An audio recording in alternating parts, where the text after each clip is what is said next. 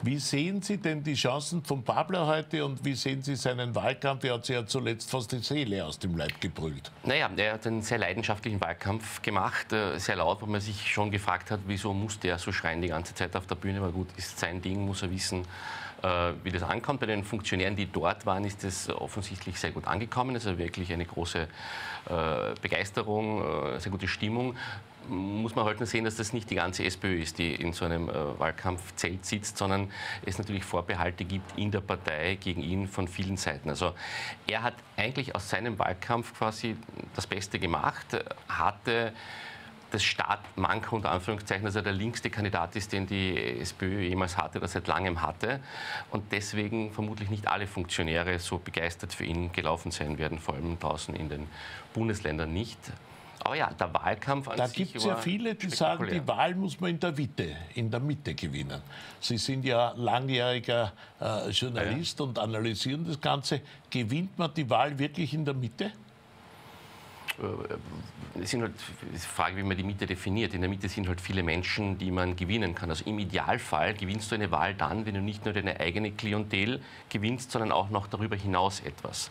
Das, wie schon angesprochen, wird sich da nicht abspielen. Das ist die Wahlkampf. Frage. Wird das der Babler schaffen? Gewinnt ich glaube nicht. Über? Nein, der muss mal schauen, dass er die eigenen Wähler bei der Stange hält, also die SPÖ-Wähler der Vergangenheit. Das ist schon einmal, man hat immer gesagt, der Babler aufgrund seines linken Images wird es schaffen, bei den Grünen was zu holen, äh, der Bierpartei, die zwar nicht angetreten ist beim letzten Mal, aber immer mit dem Zettel steht, was wegzunehmen.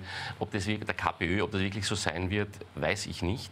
Also dem geben Sie eher wenig Chancen auf Zugewinne, wenn ich das Babler, Babler ist schwer einzuschätzen. Babler kann, äh, die SPÖ kann mit dem Babler noch weiter abstürzen, weil er nicht ankommt.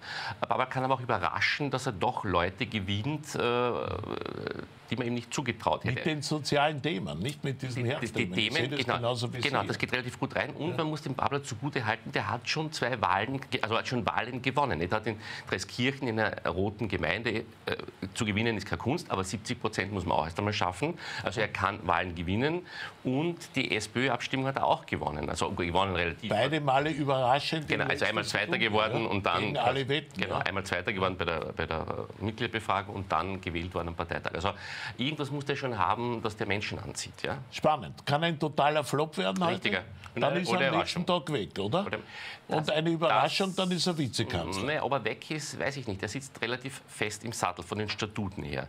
Dann ist er erst vor kurzem direkt gewählt worden, auch wieder unter Anführungszeichen. Zuerst Mitgliederbefragung, dann Parteitag. Mhm.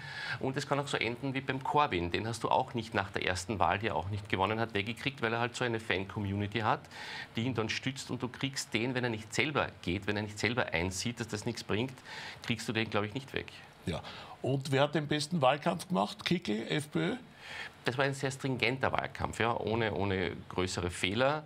Äh, das, wenn man so das, das Momentum hernimmt, wie die Amerikaner gerne sagen, war bei der Kampagne der FPÖ wahrscheinlich das stärkste Momentum.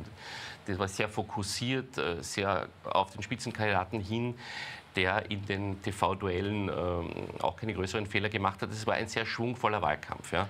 Glauben Sie, kann die FPÖ heute den Platz 1 schaffen? Wird sie mobilisieren können?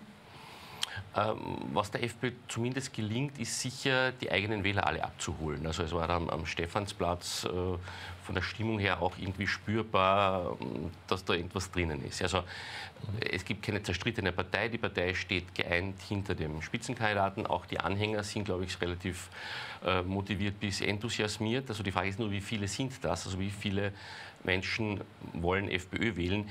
Die, die immer FPÖ gewählt haben, werden das sicher alle tun wieder. Ja. Und zum Schluss, Herr Pink, auf welche Regierung tippen Sie?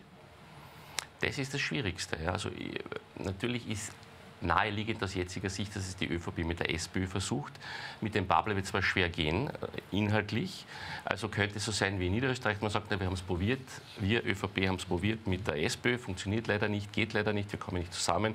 Jetzt müssen wir halt doch wieder mit der FPÖ, so wie es in Niederösterreich auch war. Und dann könnte es doch eine türkis-blaue Koalition geben. Weil der Kickel ist da, glaube ich, nicht abgeneigt, wenn man ihm so zuhört. Ja.